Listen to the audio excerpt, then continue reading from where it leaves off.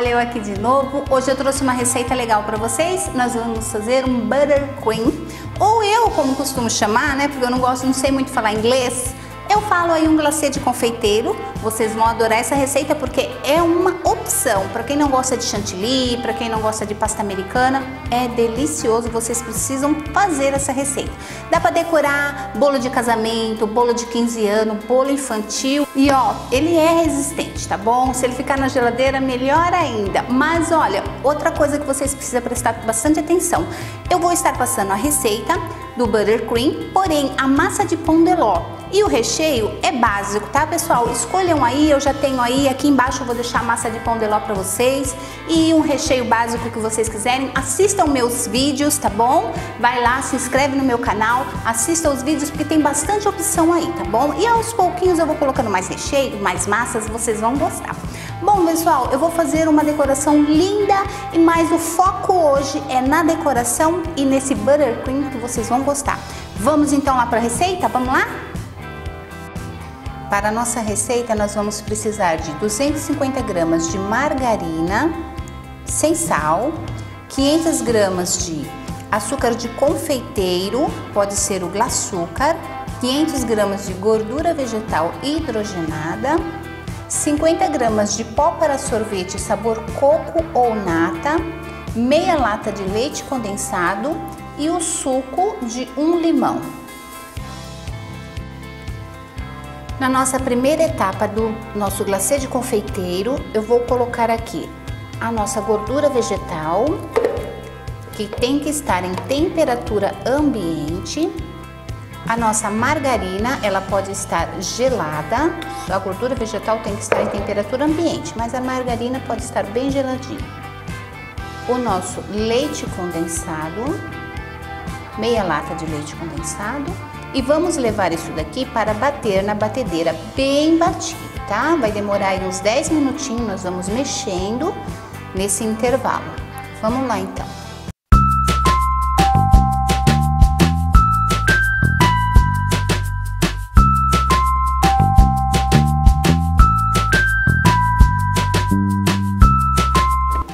Essa primeira etapa tem que deixar bater por mais ou menos 10 minutinhos para ele ficar assim bem branquinho, bem airado, tá? Vamos passar para a segunda etapa, que nós vamos acrescentar agora o nosso açúcar de confeiteiro aos poucos e por último o nosso suco de limão. Vamos continuar batendo e acrescentando o açúcar de confeiteiro.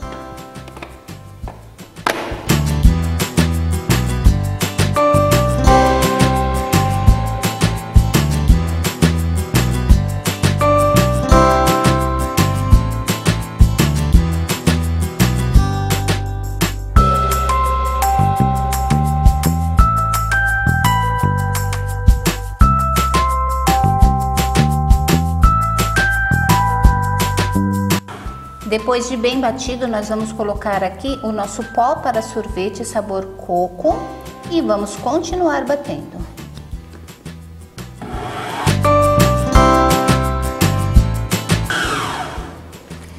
Nossa receita já está pronta. Olha como cresceu, como rendeu bastante. Vai dar para rechear, para confeitar um bolo bem grande. Olha que gostoso.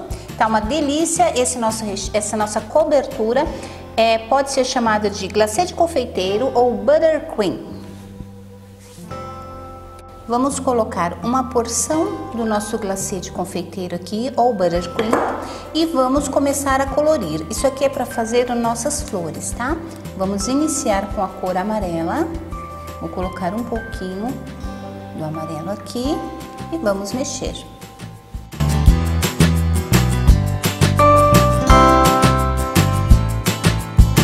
Vamos iniciar colocando então o bico na nossa manga. Eu vou trabalhar com o nosso bico é, pétala número 104 para iniciar as nossas flores.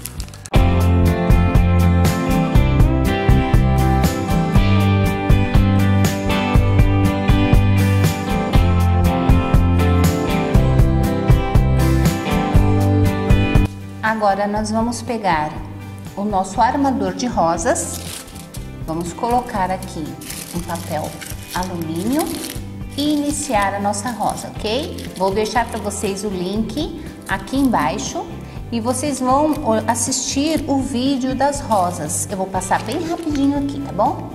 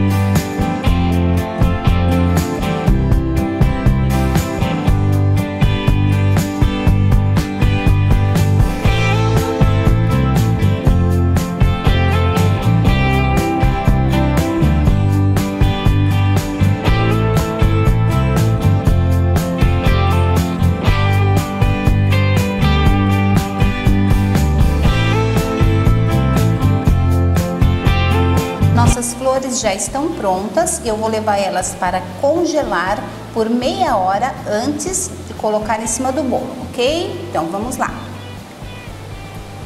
A próxima etapa nós vamos precisar de uma massa de pão de ló, uma calda básica, um pouco de recheio da preferência de vocês e uma receita do nosso buttercream.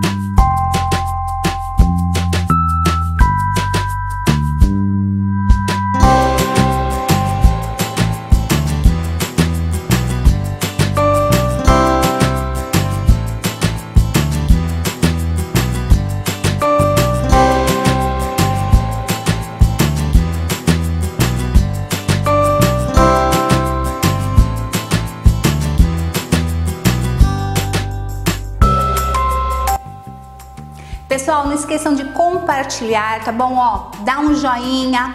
Assim também não tem importância não. O importante é que vocês estão aí assistindo meus vídeos e me, se comunicando comigo também. Se tiver alguma dúvida, pode colocar aí e eu respondo, ok? Pessoal, compartilha, por favor, vocês estão me ajudando, tá bom? Até a próxima receita. Tchau!